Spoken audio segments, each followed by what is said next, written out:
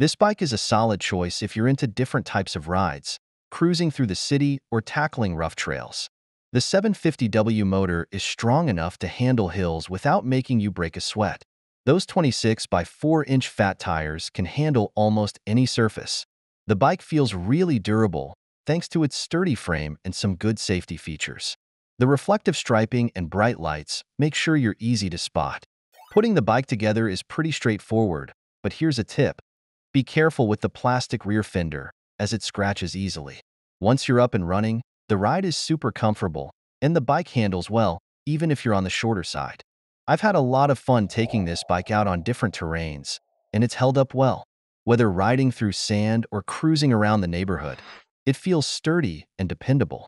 Overall, if you're looking for a reliable e-bike that gets the job done, the Rad Rover 6 Plus is a great pick, especially with the sale going on right now.